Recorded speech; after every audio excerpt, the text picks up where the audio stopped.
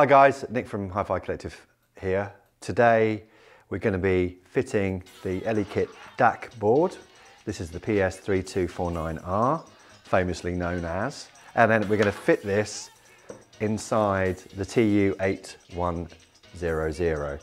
First thing you need to do is take this apart. So take off the covers, take out the PCL 86s, boom.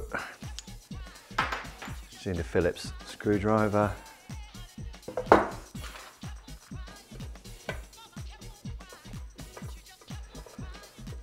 So previous videos we, we've done is the construction of this board.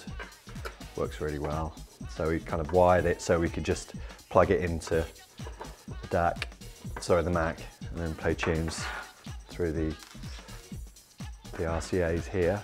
But we're going to keep, take these RCAs off and then use these wires to connect up internally in this, I believe. If you want to see the videos constructing this board, click here. There she is. Oh, glory. So this is where board sits. The holes here. So components going up. You, you won't be able to fit it the other way because the transformers are in the way. So pop that one in there.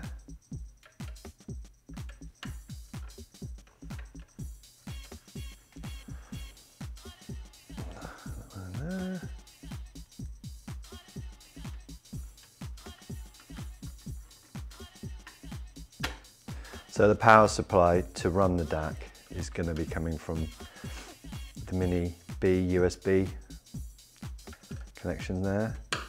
So you can see that we, we've got these that we were using with the RCAs for an earlier project. So they need to connect up to there.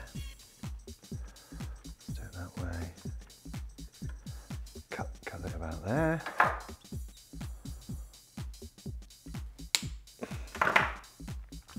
You got they're marked on the board so you can see that that's the right one and that's the left one.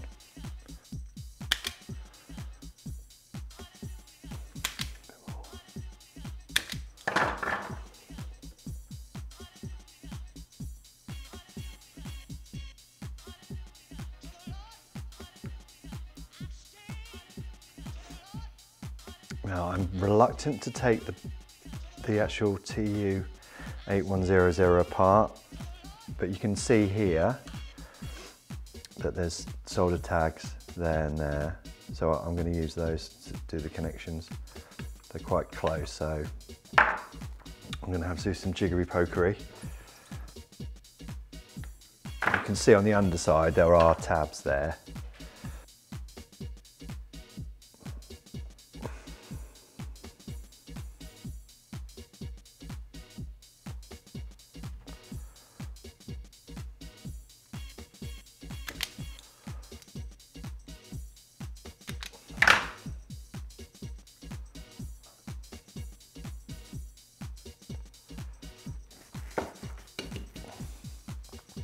solder. Just tin the ends.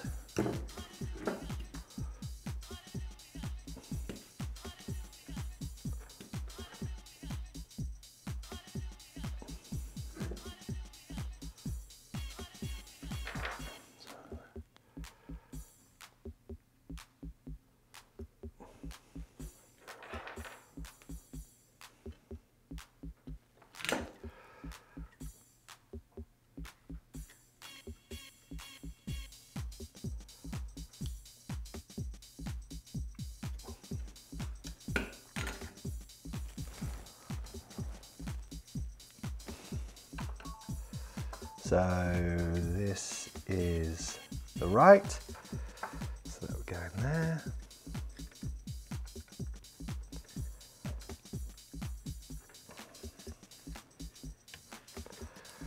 Fiddly this one.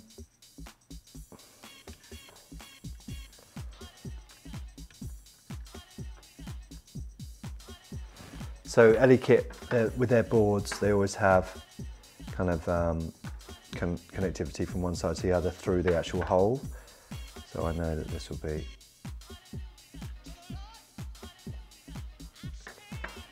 cool.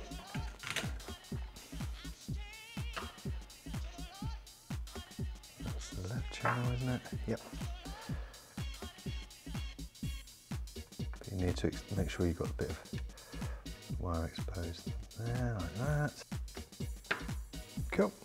Now you might be wondering, what are we going to do with the earth wire? So I'm going to get some tie wraps actually first. You don't want these wires touching the valve.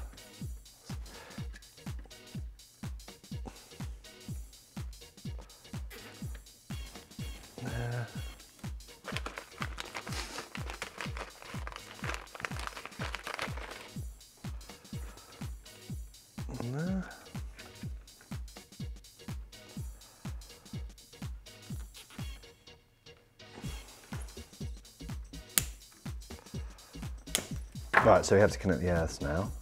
Now I'm going to use a bit of a trick. Is that thin enough?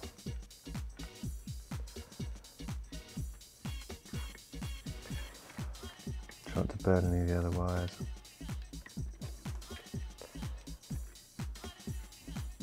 Cool, that's it in.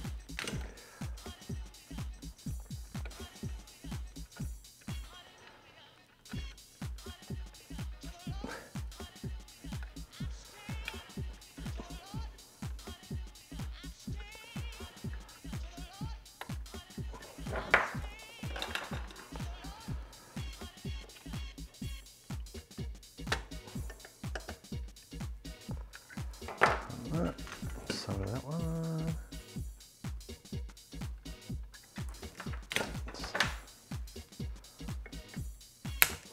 oh, did I get you? And then of that one.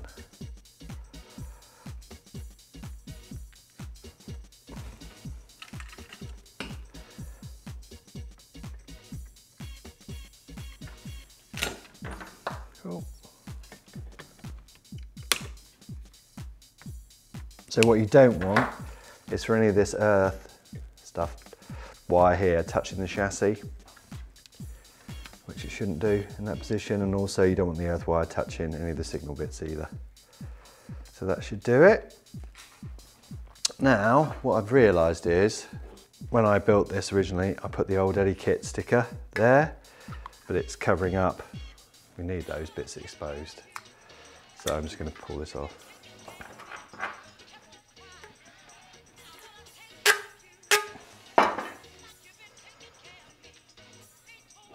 Off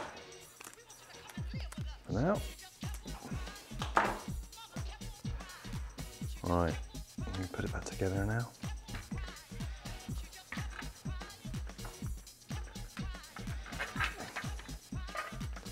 Just make sure that's not touching anything.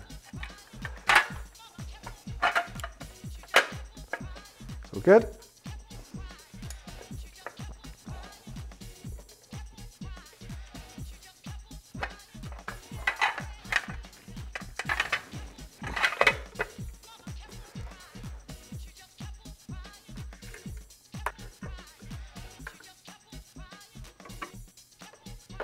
Right.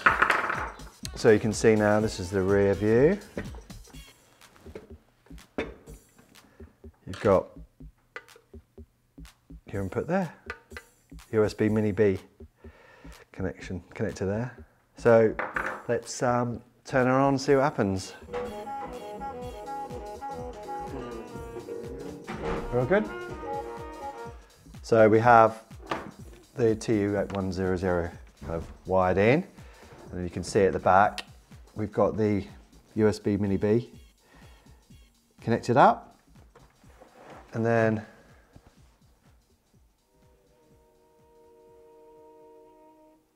And lo and behold, half and half, Elvin Jones.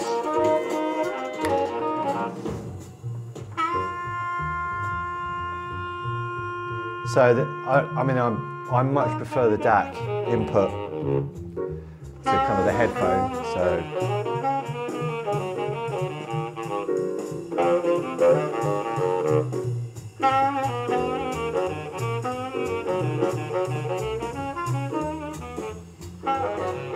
Just before I sign off, I want to say a big thank you for watching our videos. Like and subscribe, and follow us on all the social network platforms. See you later.